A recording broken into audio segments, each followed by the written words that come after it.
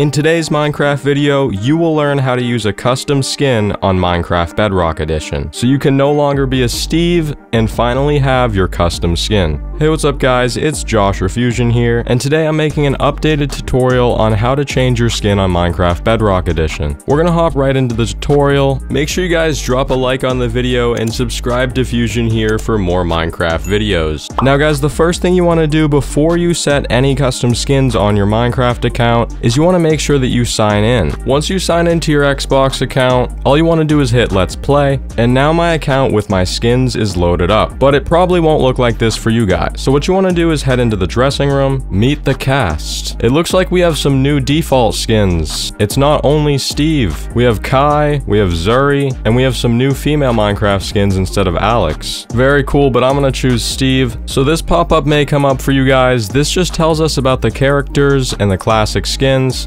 Basically, a classic skin is either a skin that you get from buying a skin pack from the store, or you can upload a skin for free by getting them from websites like I'll show you guys later in this tutorial. And the character option is for building a custom character piece by piece using different clothing options. Alright, now I'm going to show you guys how to upload custom skins to Minecraft Bedrock Edition on PC, and this is completely free. So you guys are going to want to head over to one of your blank character slots, and you're going to want to head down to create character. We're going to want to choose classic skin. Then you want to select create classic skin. Once you are in here, it's going to say a new character was created, and you're going to have a blank gray character on the right side. Don't worry, we're almost at the step where we upload a custom character. All you have to do is come over to own skins, select whatever character is here, and then you want to select choose new skin. Whenever you select this, it will probably open a random folder on your computer.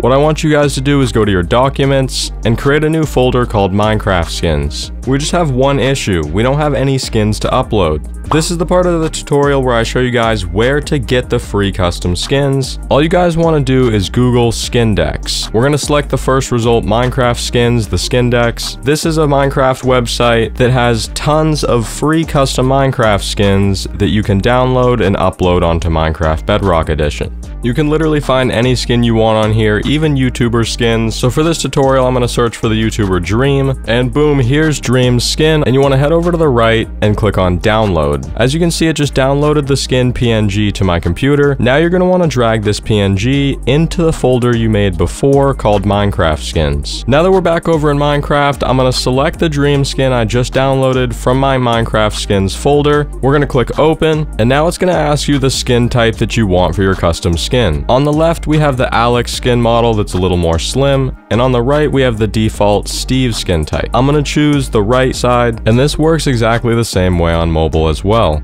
Also, don't forget if you guys don't have any skin packs, I made a video before on how to get the free Burberry skin pack and the world and Burberry clothing items that you can use on your Minecraft skins. If you guys want to watch that video, it will be in the card in the top right. Alright, now I'm going to show you guys how to upload custom skins on Minecraft Bedrock Edition on mobile, and this works on iPhone and on Android, and it's also free on mobile as well. So I just downloaded Minecraft on my phone to show you guys how to use custom Minecraft skins on Minecraft Bedrock on mobile as well. I'm gonna head to Safari and I searched for Minecraft Skindex. We're gonna select the first option as Minecraft skins. Once again, I'm just gonna search for Dream Skin for this tutorial. We're gonna select this one, head down a little bit, tap on download. You're gonna tap download again and you're not done yet. Now you wanna head down to the blue arrow at the bottom, tap downloads and select this number at the top. As you can see, if we zoom in, this is the Minecraft skin. We need to tap the icon on the bottom left to save it, and tap Save Image. Now we can head into Minecraft, and you can also sign into your Xbox account on mobile, so I'm going to do that right now. Welcome back, Fuzion here. We're going to hit Let's Go.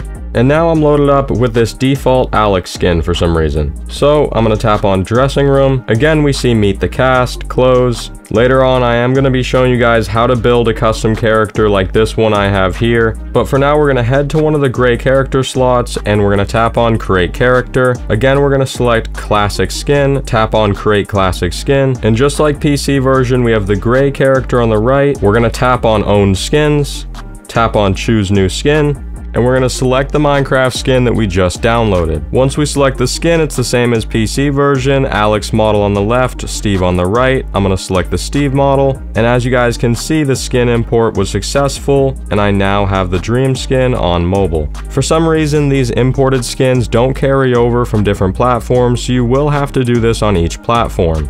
But now I'm to head back over to the PC version to show you guys how to build a custom character that will carry over to any version of Minecraft Bedrock.